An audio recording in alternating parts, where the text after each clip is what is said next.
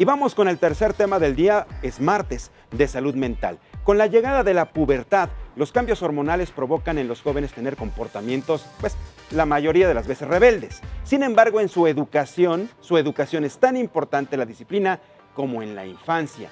Límites. ¿Qué tan bueno y hasta dónde se tienen que poner límites? Ya estamos a punto de entrar a detalle con nuestros invitados. El comportamiento adolescente se caracteriza por falta de reconocimiento por la autoridad, cuestionar las normas establecidas. La familia pierde protagonismo en su vida y toman decisiones en función del grupo social.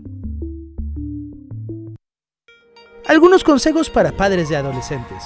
Asuman derechos y obligaciones. Tengan seguridad. Potencien las habilidades de sus hijos y no solo los defectos. Y no se contradigan en la toma de decisiones.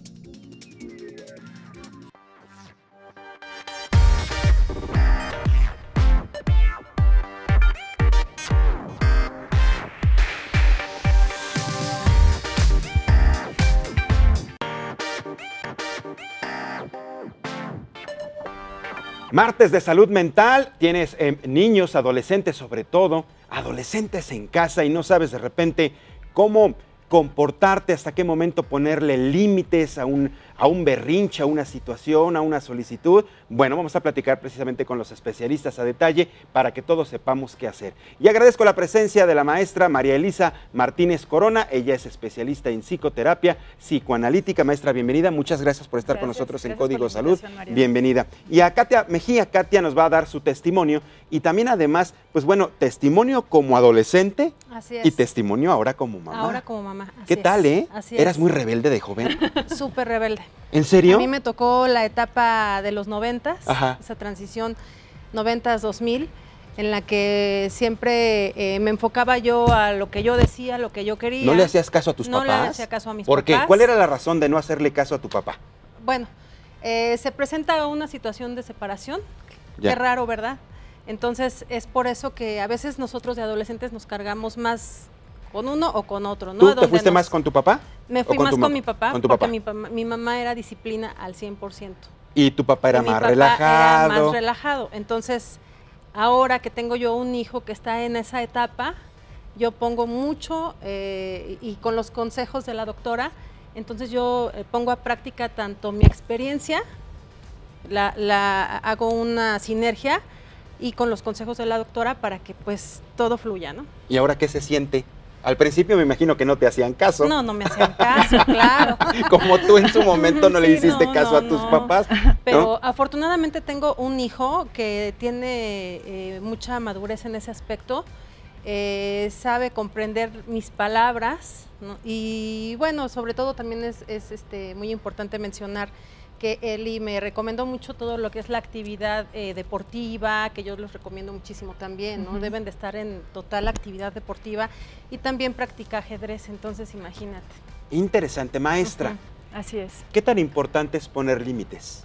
Muy importante, sobre todo eh, nosotros los psicoanalistas lo llamamos como la segunda, eh, el segundo Edipo.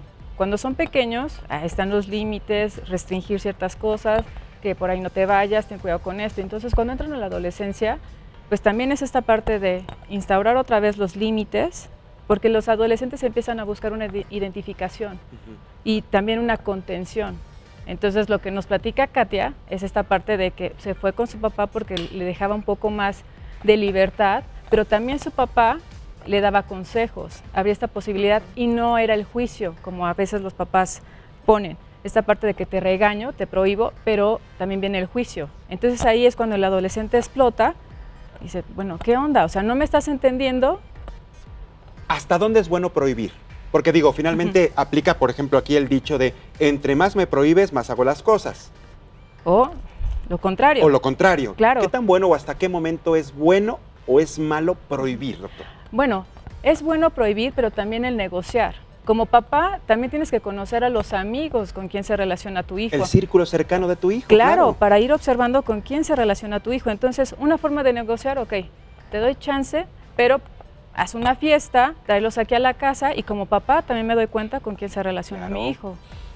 Vas conociendo el círculo cercano, entonces Claro. ves por qué se comporta de tal manera, por qué habla como habla, por Sí. qué opina lo que opina. Así es. Ahora, en el caso, por ejemplo, de Katia, una separación, es muy común, por ejemplo, el caso de los jóvenes, los, los hijos que son muy agresivos de repente, que se portan mal, que no obedecen, porque hay una ruptura en la familia, porque está Claro. ocurriendo algo, algún problema al interior del, del círculo familiar. Claro, porque imagínate, el adolescente no solamente está haciendo su duelo de niño, y también los cambios físicos y hormonales que está padeciendo, o sea, y aparte le asumas esta parte de la separación de los papás, donde tienes como esa contención, ese límite, o sea, es una, una guerra ahí completamente grande para el adolescente. Entonces, lo que se sugiere ahora es el acompañamiento de una psicoterapia, Ajá. y es donde entramos nosotros para acompañar al adolescente y también en esta parte porque se inclinan mucho en las drogas. En esta parte de que un alivio, un aliciente, una... Esos son los riesgos, ¿verdad? Así O es. sea, cuando no hay una buena comunicación, cuando los papás ni siquiera se dan cuenta, porque tenemos papás que no se dan cuenta, ahora por ejemplo, Oh, están pegadísimos en los dispositivos y, y- y dejan que los hijos pues tengan su círculo y ni sabemos quiénes son eh, sus Claro, amigos, claro. ¿no? O que estén checando las redes sociales y ni siquiera nos ponemos a ver Sí. qué es lo que están viendo en las es. redes sociales. Así Entonces, es. de entrada, si estamos conscientes y nos acercamos a un especialista, eso es bueno, pero ¿cuántas veces no ocurre? Eso. ¿Y cuáles son los riesgos entonces? ¿Cuáles serían los riesgos de no acercarlos a una especialista, no tener la comunicación con nuestros hijos para poner precisamente límites? Bueno, uno de los riesgos importantes ahorita en la población es también el, el suicidio, que es una tasa alta ahorita en México, eh, las adicciones también, y pues también vienen estos factores de una salud mental también, so- para sobrellevar todo esto, porque viene la depresión y aunado al suicidio. A ver, Katia, regresémonos a tu, ade- a tu adolescencia. Claro que sí. Generalmente, ¿a qué le decías que no? Entiendo que a lo mejor le decías más a tu mamá que a tu papá, pero ¿qué pasaba por tu cabeza y cuál, cuál era el hecho de ser rebelde y decir no a las cosas? Bueno, en mi etapa el decir no era a salir a fiestas a mi mamá, totalmente me prohibía. O sea, te las prohibía. Sí, claro, me decía, no, aquí tú tienes que estudiar, fiestas no. Mi mamá sí fue 100% disciplina. Y en este caso mi papá era más, eh, más este, comprensivo y me decía, adelante, tú puedes ir a una fiesta, estás en la edad en la que puedes este, eh, relacionarte, pero siempre con cautela, con precaución, porque los peligros los existen, los hay. Entonces, en, en ese aspecto yo le platico a Eli que yo estoy muy agradecida porque tuve un papá tanto comprensivo que se prestó mucho a la comunicación y sobre todo que me explicaba. O sea, a- aún siendo hombre, me explicaba a mí como mujer ciertos temas en los que yo siempre tuve esa, esa alarmita. Ay, dime una cosa, como con tu mamá no tenías esta comunicación, ¿qué pasaba en esos momentos? Sabiendo que tu papá era el que te explicaba siendo varón y a lo mejor tú esperando una explicación de tu mamá siendo mujer como tú, Sí. no la tenías. No, porque ¿Qué pasaba? ¿Te sentías, no sé, eh, deprimida, molesta con tu mamá? Eh, no sé. Yo siento que ese huequito lo llenó mi papá. Mi, mi mamá era muy breve en los temas. Era muy breve, pues eh, su educación fue muy tradicional. Entonces siempre Así la fue- recibió ella Así también. la sí, claro. Entonces, este, ella siempre fue muy breve en, en esos temas en particular. Y yo con eso, yo le agradezco ahora que soy mamá, porque ahora también la comprendo. Mm. Entonces digo, ah, no estaba mal. Realmente ahora que yo tengo 38 años, yo digo, no está mal, realmente no está mal.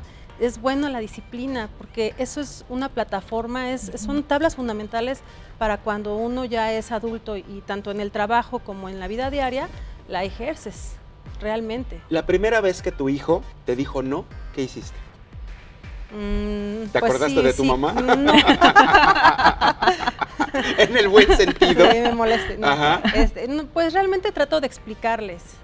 Eh, siempre he ido de la mano también, voy de la mano mucho con las maestras de mis hijos. En aquel entonces yo iba de la mano con la maestra Lupita Peregrina de San Luis Potosí, excelente maestra, y de un colegio Montessori, y la verdad es que me dio muy buenos consejos.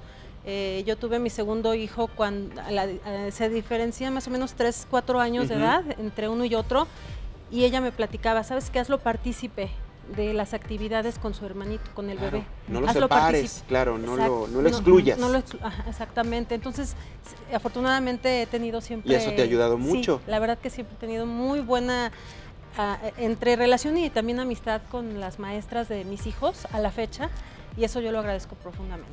Va, va de la mano, porque finalmente, Claro, va de la ese es, mano. digamos, es el, el círculo eh, social en el que se mueven. Los niños van a la escuela. Claro. Ahí pasa la mayor parte del tiempo y luego a su casa. Claro, y esto también nos ayuda con los adolescentes porque hay unos donde les dicen a los papás, oye, tu hijo se porta muy bien cuando viene a la escuela y las Pero en casa interacciones". es otro. Exacto. ¿Por qué sucede esto, maestra? Esto sucede eh, porque justo como comenta Katia, eh, a veces los papás juzgan y nada más quieren el resultado académico y empiezan a comparar. Entonces el chavito dice, o sea, no se interesan por mí, o sea, nada más están viendo lo que tengo que hacer y no por mí. Entonces llegan los terceros y es cuando interactúan de otra manera porque dicen ellos no, los, no nos juzgan y puedo interactuar con él libre. Esto pasa con los abuelos, con los maestros, con amigos.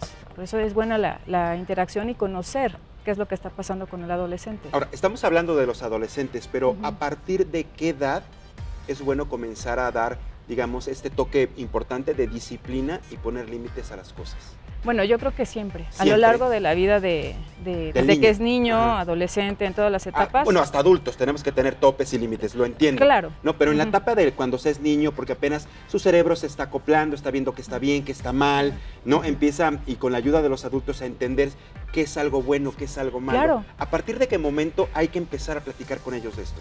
Pues yo creo que desde chiquitos, porque estás ¿Tres, cuatro conteniendo. años? ¿Ya les Más, empiezas a Más, explicar? desde tres o dos años, porque Ajá. ya empiezas a contener.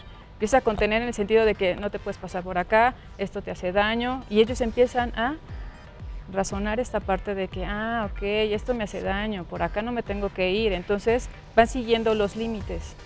Donde sea continuo, vas teniendo un mejor resultado. Y entonces sí funciona ser un papá flexible. Claro, como su Sí papá y la combinación con su mamá, o sea, Fue una fusión muy Así es. interesante. O sea, hay que ser Así es. flexibles, hay que saber hasta cuándo sí, cuándo no, pero también eh, en algunos momentos ser determinantes o no, maestra. Claro. De, de momentos Claro, sí decir claro, claro. no. ¿Y por qué? Pero también ahí se juega una línea muy delgada entre qué tanto si estoy prohibiendo de una manera eh, que ayude a mi hijo y qué tanto si es esta parte donde no me estoy saliendo de la línea. O sea, ya estoy desbordándome por otro lado. Es una línea muy delgada Sí, esa muy parte. delgada, definitivamente. y, y por más que se platique, finalmente también depende mucho del temperamento de las personas, ¿no? Así es. Influye mucho la educación, el temperamento y la situación en la que han vivido en su círculo familiar. Exacto. Pues nos comió el tiempo, desgraciadamente, pero yo le agradezco a las dos. Katia Mejía, muchísimas Gracias Katia, al ti, contrario, muchísimas gracias. Muy amable. Maestra María Elisa Martínez Corona, bienvenida esta a su casa. Las veces que quieran venir son bienvenidas. Muchísimas gracias. El martes de salud mental. Perfecto. El tema Hoy aprendimos muchísimo el programa de hoy. Ya nos vamos, muchas gracias por tu compañía. Quédate en la señal del Heraldo Televisión. A continuación, Carlos Allende y su particular manera de narrarte las noticias en palitos y bolitas. Recuerda, a las 5 de la tarde la repetición de este programa por la señal del Heraldo Televisión. Mi nombre es Mariano Riva Palacio. Esto fue Código Salud.